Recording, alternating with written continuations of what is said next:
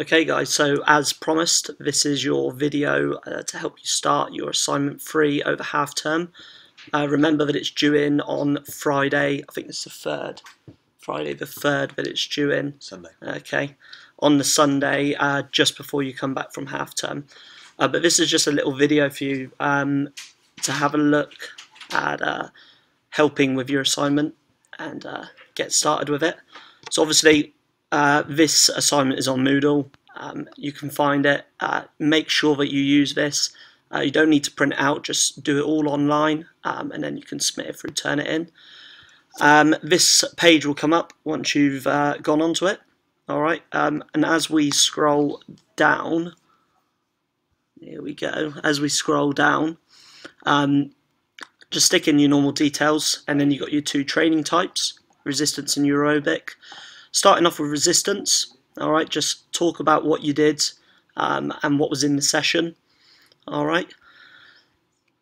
And then going through into exactly the same for aerobic.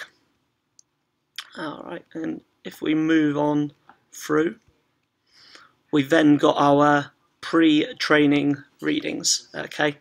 Um, now this is what we did before uh, before we did any of the exercise. All right, um, and this is some of the data that I've put in, and uh, and that Alex has helped put in as well. All right, so make sure that you you've popped that in. This is your pre-training readings though, so this is before aerobic and resistance has even started. What you've then got is you've got the post-training readings, okay, um, and that is to be entered in after the aerobic and the resistant exercises. Okay, so you also need to enter that in. What we did here is we kind of predicted what your post-training results would be. Um, so in some cases, um, we looked at the resting heart rate after the training session, but you could also consider what your post-training results would be after a three-month period. So, for example, your resting heart rate might decline by sort of 5%. So you just look at your top number here and go, well, it's 67. Actually, if I've been training for, for, three, uh, for six weeks, it's likely to have declined. So I've put 62. I've just estimated what it would be after the post-training. So we move on through um, and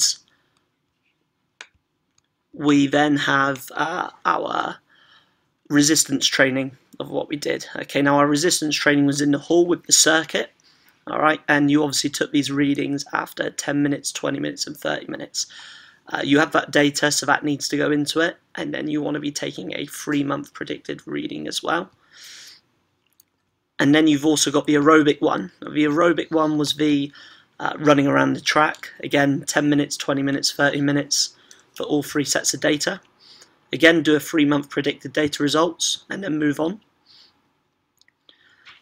And then you get onto some of the work which we've done in class um, and some of the uh, some areas we've looked at. Okay, now under each one, um, probably looking to add in one. You can add in two if you want, um, but one will be fine.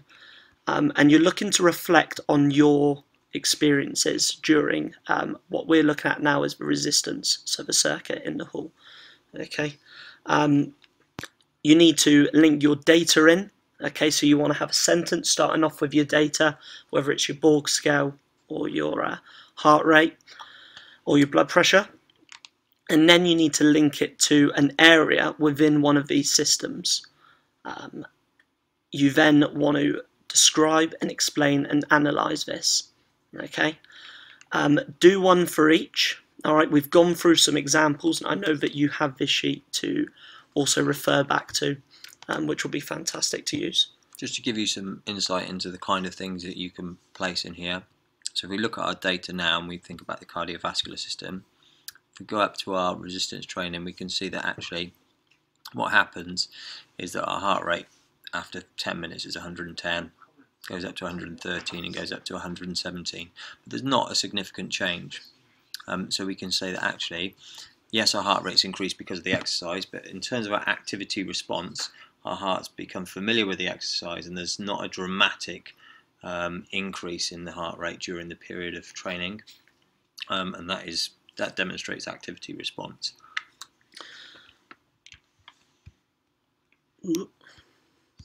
Okay, so moving on through again.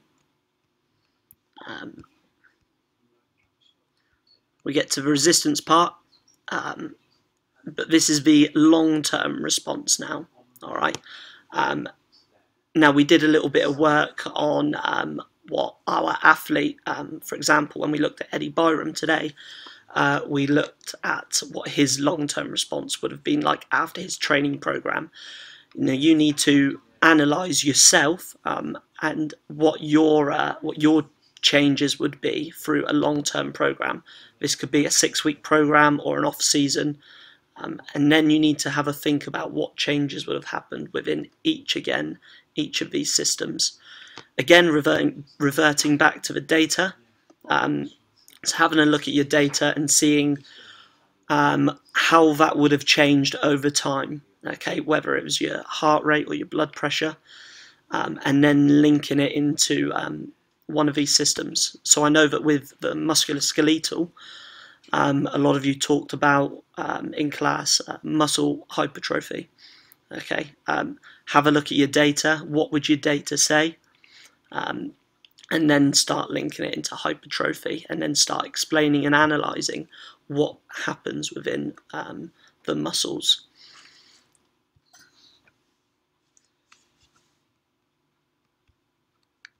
Exactly the same for aerobic training. Um, again, using the data.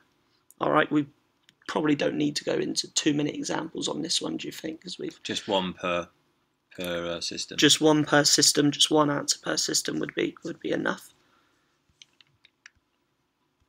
Again, the same with the long term. Then we come into some work that we haven't done just yet, which is uh, the review. Um, Alex is going to go through that with you.